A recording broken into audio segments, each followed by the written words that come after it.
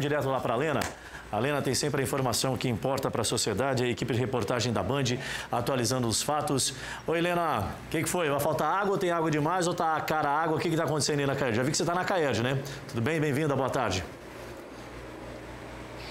Oi, Adilson, boa tarde para você, boa tarde para todo mundo que acompanha a nossa programação. Pois é, um assunto que tem preocupado a todos nós rondonienses e, claro, os nortistas como um todo, é justamente a seca severa que tem atingido a nossa região. Aqui no estado de Rondônia, a CAERD tem promovido algumas ações, algumas ações e intensificado, principalmente no interior do estado, para prevenir e evitar o desabastecimento. A gente vai conversar com o diretor técnico da CAERJ, Lauro Fernandes, que tem mais detalhes sobre essas ações.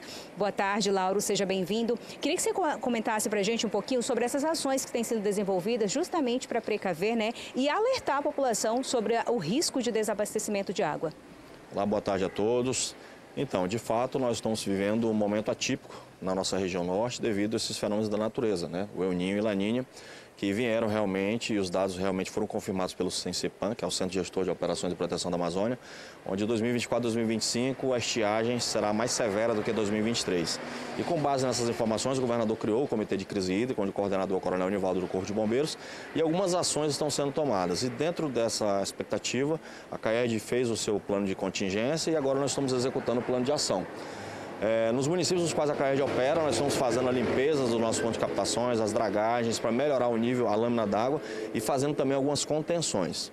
É, nós sabemos que não será, não será fácil, mas tudo que for possível a gente vai estar fazendo, inclusive com a perfuração de novos poços tubulares profundos para poder complementar a água né, distribuída pelas estações de tratamento.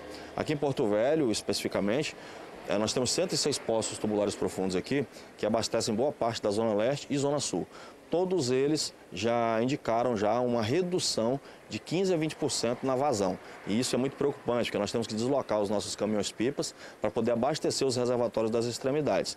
Então a gente pede muito para que a população colabore nesse sentido, economizando água.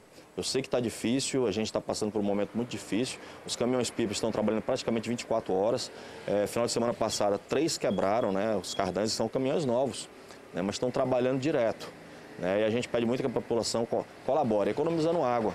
É, de, não deixando as torneiras, chuveiros abertos por tempo excessivo. Se tiver algum ponto de vazamento na sua casa, procure fazer o reparo o mais rápido possível. Os vazamentos que tem na rua, a gente está intensificando esses vazamentos para poder fazer a correção é, e a gente consiga realmente evitar é, que a água seja desperdiçada, mas a gente precisa muito da ajuda e colaboração de todos vocês. Laura, a gente sabe que as previsões é de que pelo menos até o mês de novembro a gente enfrente né, essa seca severa aqui no estado de Rondônia e, claro, em outras regiões vizinhas também. Esse plano de contingência, ele permanece até quando e quais são as próximas ações, os próximos passos da CAERJ para é, tentar minimizar né, o efeito dessa estiagem? Então, enquanto perdurar os efeitos né, desses efeitos da natureza, a gente vai estar, tá, inclusive o decreto né, de urgência já foi estabelecido pelo governo do estado de Rondônia, aprovado pelo governo federal, para vir recursos, para que a gente desenvolva outros mecanismos para poder estar tá minimizando esses impactos a toda a sociedade. Agora mesmo aqui no Rio Madeira, nossa equipe está lá, né, nos flutuadores. Um deu problema no, é, semana passada, que com a vazão da, da, hidrelétrica aqui, eles abriram as comportas com muita rapidez, o flutuante ele ficou em choque com algumas pedras que apareceram e acabou danificando. A nossa equipe está agora lá para remover novamente de, lugar, de local, porque já está em cima das pedras novamente. Né? E isso acaba prejudicando a captação de água e, consequentemente, não chega água suficiente na nossa estação de tratamento. Então, enquanto perdurar esse momento de estiagem, nós estaremos desenvolvendo mecanismos para poder melhorar o abastecimento. O rio Batistacas, aqui em Porto Velho, praticamente secou. Essa noite nós tivemos que desligar os equipamentos dessa segunda captação, porque realmente estava no nível muito prejudicial. Nós estamos conseguindo captar água no batistaco. Então a gente precisa muito da ajuda de todos vocês para que a gente realmente possa trazer um equilíbrio no abastecimento. Obrigada mais uma vez pelas informações, Laura. Então tá aí, Adilson. Importante ação que vem sendo desenvolvida pela CAERG no estado, no estado de Rondônia, também com foco em Porto Velho, para evitar então que ficamos sem água. É difícil a gente ter que economizar num período de intensa Lena, seca, calor, onde a gente quer... Opa, tô te ouvindo. Se, se é, o nosso nobre entrevistado ainda estiver por aí, só, só busca uma informação. Havia uma, uma programação para começar a pegar a água acima da, da barragem.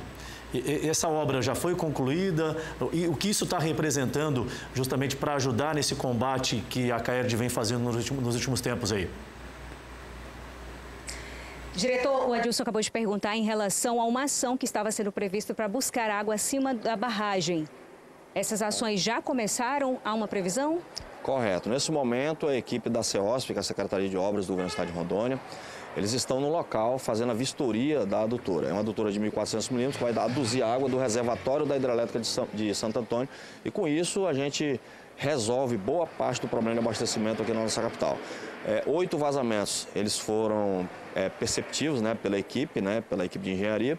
É, vai ser feita a soldagem novamente dessa adutora, para que logo em breve a gente tenha condições de fazer o novo teste hidrostático e com isso fazer interligação no nosso booster do Santo Antônio e mandar mais água para a nossa estação de tratamento. Então essa realmente é uma obra bastante importante e nós estamos na expectativa de a qualquer momento a gente consiga, que a gente consiga utilizá-la já ainda nesse verão.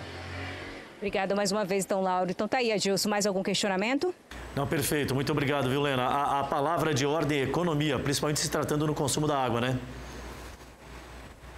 Sem dúvida, mas como eu dizia, é difícil a gente querer economizar água no período de seca extrema, onde o calor está intenso, né? O uso de um ar-condicionado também é fundamental no período como esse, mas tendo que economizar, a gente sabe que são aqueles cuidados básicos diários, né? Vai escovar o dente, deixa a torneira fechada, utiliza ali, vai aguar a lavar a área de serviço, tenta economizar, tenta usar a água da máquina de lavar que você bateu roupa, enfim, ações pequenas que no futuro a gente vai conseguir ajudar todos nós. Volto contigo, Gilson. Perfeito, muito obrigado, minha querida Lena Mendonça, destacando justamente é, o momento que a gente atravessa de muita, muita delicadeza mesmo, o abastecimento de água completamente comprometido.